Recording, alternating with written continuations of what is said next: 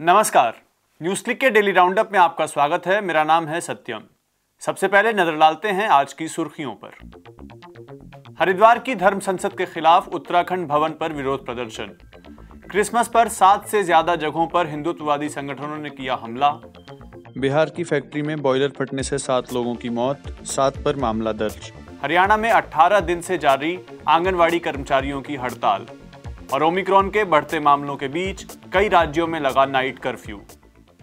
अब खबरें विस्तार से। उत्तराखंड के हरिद्वार में हुई धर्म संसद और हिंदू धर्म के नाम पर हिंदुत्ववादी संगठनों ने नफरत भरी बातें की, मुसलमानों को मारने की अपील की, उनका नरसंहार करने तक की बात की। इसका आयोजन हिंदुत्व नेता यति नरसिंहानंद ने किया था और इसमें अलग अलग हिंदू संगठनों और अखाड़ों के नेता मौजूद थे। इस धर्म संसद में फैलाई गई नफरत और आरोपियों की गिरफ्तारी की मांग करते हुए आज दिल्ली के उत्तराखंड भवन पर नागरिकों ने विरोध प्रदर्शन किया। न्यूज़ क्लिक ने वहाँ मौजूद प्रदर्शनकारियों से बात की। आइए सुनते हैं। देखिए, हो सकता है हम कुछ तो निकाल पाए, लेकिन हम अपनी आवाज़ तो बुलंद करते रहेंगे, क्योंकि जो जुल्म हो रहा है, उसके खिलाफ अगर आवाज़ें भी बंद हो जाएँ, तब तो जुल्म बढ़ता जाता है और फांसीवादी ताकतें खास तौर से लोगों को डरा के और चुप्पी से ही फैलती हैं। बहुत ज़रूरी है कि इस देश का हर नागरिक अपनी आवाज़ उठाए और ये कहे कि हमें मंजूर नहीं है जो हो रहा है। ये जिस तरह की बयानबाजी हो रही है, जिस तरह की नफरत फैलाई जा रही है, उसके खिलाफ इस देश में आवाज़ें बुलंद है। और आज ये जो धरना है सिर्फ़ दिल्ली में नहीं हो रहा, आज पूरे हिंदुस्तान में इसको लेके धरने हो रहे हैं। सब जगह मेमोरेंडम दिए जाएँगे। ये मांग करते हुए कि जितने भी ऑर्गेनाइजर हैं, नरसिम्हानंद और बाकी सारे, उन सबको गिरफ़्तार किया जाए। अगर कोई भारत को तोड़ना चाहता है तो वो लोग हैं जो इसको हेट असेंबलीज को ऑर्गेनाइज कर रहे हैं। और हम यहाँ पर इस बात को कहने के लिए आए हैं कि अगर इन लोगों को लगता है कि हिंदू राष्ट्र का जो ये सपना है, जिस, जिसके लिए ये हिंदुओं को कह रहे हैं कि किताबें छोड़ के हाथों में शस्त्र उठा लो और मुसलमानों का कत्लेआम करने की बात कर रहे हैं, पूरी एक कम्युनिटी की इनहाइलेशन की बात कर रहे हैं तो हम उनको ये कहने के लिए आए हैं कि उस चीज़ में हम आपके साथ नहीं है, हम उसको अपोज करेंगे। और दूसरी बात एक चीज़ हमारे देश में साफ़ है, सब लोग कहते हैं हिंदू राष्ट्र बनाना है बट मेरे हिसाब से अभी हम जिस दौर के अंदर जी रहे हैं, यही वो हिंदू राष्ट्र है, जो ये बनाना चाहते हैं, जो स्टेप बाय स्टेप और ज़्यादा हम उसके अंदर घुसते जा रहे हैं। क्योंकि इस देश के अंदर आज अगर आप मुसलमान हैं और पूरा इक्वल सिटीजनशिप की बात करें कॉन्स्टिट्यूशन को बचाने की बात करें तो आप पे यूएपी है, जो कि एक एंटी टेरर लॉ है, वो आपको के ऊपर लग जाएगा, एक साल तक, दो साल तक आप जेल में रहेंगे। लेकिन अगर आप देश को तोड़ने की, विभाजन की बात करें एक पूरी कम्युनिटी के कत्लेआम की बात करें तो आपको पुलिस प्रोटेक्शन मिलेगा। और आपको दस दिन अभी तक हो गए हैं, किसी ने अरेस्ट नहीं किया। एफआईआर भी बहुत मुश्किल से होगा और वो भी सिर्फ़ एक प्रिटेंस होगा। सुप्रीम कोर्ट जो है कोई सुमोटो कॉग्निसेंस नहीं लेगा। तो ये आप एक देश के अंदर इस स्थिति में आप रह रहे हैं। इसीलिए मैं मानती हूँ कि आज इस देश के अंदर हर एक बंदे का, चाहे वो कोई भी प्रोफेशन का हो, उसका ये एक बहुत बड़ा रिस्पॉन्सिबिलिटी है। और खास तौर पे अगर वो इस देश के अंदर आज एक हिंदू है तो उसके ऊपर ये मैं मानती हूँ सबसे ज़्यादा रिस्पॉन्सिबिलिटी है कि वो इस बात को बोले कि ये हिंदू राष्ट्र मुझे एक्सेप्टेबल नहीं है। राज्य का रवैया बहुत स्पष्ट है और राज्य की जितनी संस्थाएँ हैं, उनका रवैया बहुत स्पष्ट है कि वे इस तरह के संघारात्मक या जो भड़कावा है, इसको बुरा नहीं मानती हैं और ये नहीं मानती हैं कि यह स्वीकार नहीं किया जा सकता कि आप समाज के एक हिस्से के कत्लेआम का आह्वान कर रहे हैं कत्लेआम का भड़कावा दे रहे हैं। और यह भी बहुत अफसोस की बात है कि प्रदूषण जैसे मामले पर जो स्वतः संज्ञान लेता है सर्वोच्च न्यायालय उसने इसको इतना गंभीर मामला नहीं माना है कि इस पर संज्ञान ले। तो ये पूरी तरह से राज्य की संस्थाओं का आ, अपने संवैधानिक दायित्व से मुँह मोड़ लेना है। और इसमें और कोई चारा नहीं रह जाता है कि समाज उनको याद दिलाए। और आज जो लोग यहाँ इकट्ठा हुए हैं, वो वही काम कर रहे हैं। ये मुसलमानों और ईसाइयों का इसलिए मसला है कि उनको सीधे खतरा है और वे झेल रहे हैं इसको। लेकिन ये सबके लिए मस... भारत भर के लिए है ये मसला कि भारत एक सभ्य समाज रहेगा या नहीं। यहूदियों का संहार यहूदियों पर असर डाल रहा था उस, लेकिन उसने जर्मनों को पूरी तरह से आप कह सकते हैं डिह्यूमनाइज कर दिया। इसलिए यह मसला हिंदुओं का भी है, सबका है। आगरा, बनारस, कुरुक्षेत्र, अंबाला, सिलचर, गुड़गांव। ये नाम उन जगहों के हैं जहाँ 25 दिसंबर क्रिसमस के दिन हिंदुत्ववादी संगठनों ने ईसाई विरोधी हमलों का एक नया मुजाहिरा पेश किया और इन सब जगहों पर हुए क्रिसमस के आयोजनों में पहुंचकर हंगामा किया।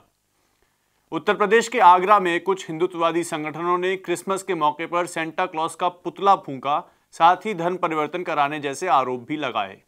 इन उत्पादी संगठनों ने सिर्फ़ एक जगह नहीं, बल्कि आगरा के एमजी रोड पर बने जॉन्स कॉलेज समेत कई स्कूलों के बाहर सेंटा क्लॉज का पुतला जलाया।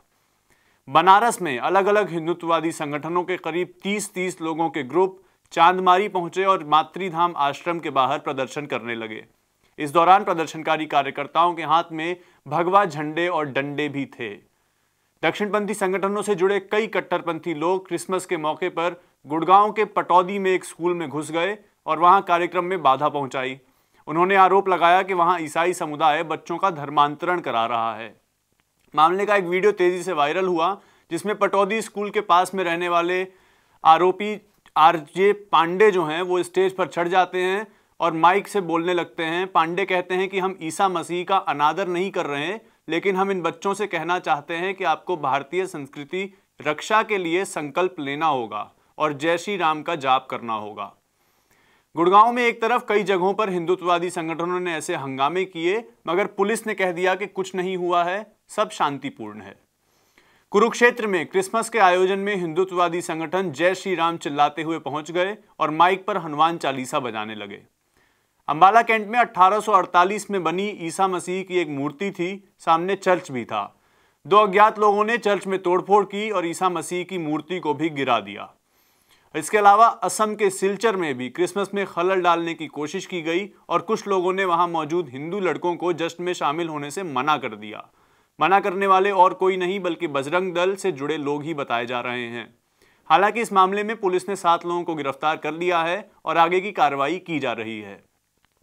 ईसाई समुदायों के खिलाफ बढ़ती इस हिंसा की घटनाओं से यही दिखाई देता है कि जिस हिंदू राष्ट्र की बात हिंदुत्ववादी संगठन करते हैं उसमें मुसलमान ईसाई सिख दलित किसी के लिए भी कोई जगह नहीं है। आगे बढ़ते हैं बिहार की बात करते हैं। बिहार के मुजफ्फरपुर की नूडल्स फैक्ट्री में बॉयलर फटने से हुई सात लोगों की मौत के मामले में पुलिस ने कुल सात लोगों पर मामला दर्ज कर लिया है जिसमें फैक्ट्री के मालिक विकास मोदी उनकी पत्नी श्वेता और मैनेजर उदय शंकर का नाम भी शामिल है। आपको बता दें कि रविवार के दिन यहाँ बेला इंडस्ट्रियल एरिया में मोदी कुरकुरे और नूडल्स फैक्ट्री में बॉयलर के फटने से 10 लोगों की मौत हो गई थी और कई लोग बड़ी संख्या में घायल हुए। इस धमाके की आवाज़ इतनी ज़बरदस्त थी कि आसपास के लोग वहाँ इकट्ठा हो गए और पुलिस को सूचना दी। बॉयलर फटने से धमाका इतना ज़्यादा हुआ कि बगल की फैक्ट्रियों में भी नुकसान हुआ था। इस मामले में मुख्यमंत्री नीतीश कुमार ने मृतकों के परिवारों को चार चार लाख रुपए मुआवजे का ऐलान किया है और पीएम मोदी ने भी पचास पचास हज़ार रुपए के मुआवजे का ऐलान कर दिया है। हरियाणा में पिछले 18 दिनों से आंगनवाड़ी कर्मचारियों की राज्यव्यापी हड़ताल चल रही है। आंगनवाड़ी की महिलाएँ डीसी कार्यालय के पर लगातार प्रदर्शन कर रही हैं और लगातार जुलूस और पुतला दहन भी किया जा रहा है। इन महिलाओं की मांगों में आंगनवाड़ी वर्कर्स एवं हेल्पर्स को सरकारी कर्मचारी का दर्जा दिया जाना, जब तक कर्मचारी नहीं बनाया जाता, तब तक न्यूनतम वेतन, जो कि वर्कर्स को चौबीस हज़ार और हेल्पर्स को सोलह हज़ार दिए जाने की मांग जो है, इसमें शामिल है। हड़ताल कर रही आंगनवाड़ी वर्कर्स एवं हेल्पर्स का कहना है कि जब तक मांगों का समाधान नहीं किया जाएगा, अनिश्चितकालीन हड़ताल जारी रहेगी। और सरकार ने लंबा खींचने का प्रयास किया तो उसका खामियाजा भी सरकार जो है भुगतेगी। हम हम आपको इस पर और जानकारी देते रहेंगे। और अंत में बात करते हैं, देश में फैल रहे ओमिक्रॉन की। ओमिक्रॉन का जो खतरा है वो देश में लगातार बढ़ता ही जा रहा है। अब तक ओमिक्रॉन देश के 19 राज्यों और केंद्र शासित प्रदेश में फैल चुका है। और इससे जो संक्रमित होने वाले लोग हैं, उनकी संख्या भी 578 हो गई है। देश में ओमिक्रॉन के सबसे ज़्यादा मामले 142 मामले दिल्ली में हैं और महाराष्ट्र में भी 141 मामले सामने आ चुके हैं। इस बीच दिल्ली, महाराष्ट्र, हरियाणा, यूपी मध्य प्रदेश समेत कई राज्यों में नाइट कर्फ्यू लगा दिया गया है, जिसके तहत रात 11 बजे से सुबह 5 बजे तक कर्फ्यू रहेगा। नोएडा के कई इलाकों में तो बढ़ते मामलों को देखते हुए धारा 144 भी लागू कर दी गई है। वहीं पिछले 24 घंटों की बात करें तो कोरोना के कुल 6,531 मामले दर्ज किए गए हैं और 315 मरीजों की मौत हुई है। देश में कोरोना संक्रमण के मामलों की संख्या बढ़कर तीन करोड़ सैंतालीस लाख से ज़्यादा हो गई है जिनमें से अब तक चार लाख अठहत्तर हज़ार से ज़्यादा लोगों की मौत हो चुकी है। और वहीं वैक्सीन की बात करें तो देश में कोरोना वैक्सीन की अब तक 141 करोड़ 70 लाख से ज़्यादा डोज दी जा चुकी हैं जिनमें से करीब 29 लाख तिरानवे हज़ार वैक्सीन की डोज पिछले 24 घंटों में दी गई हैं। वहीं तीन जनवरी से साल 15 से 18 साल तक के बच्चों को वैक्सीन लगनी शुरू हो जाएगी और 10 जनवरी से स्वास्थ्य कर्मियों को बूस्टर डोज भी दी जाएगी। आज न्यूज़ क्लिक के डेली राउंडअप में सिर्फ़ इतना ही। हमारी बाकी खबरों को देखने के लिए आप हमारी website NewsClick dot in पर जाइए। हमको यूट्यूब पर सब्सक्राइब कीजिए और हमें फेसबुक इंस्टाग्राम और ट्विटर पर फॉलो कीजिए। देखने के लिए शुक्रिया।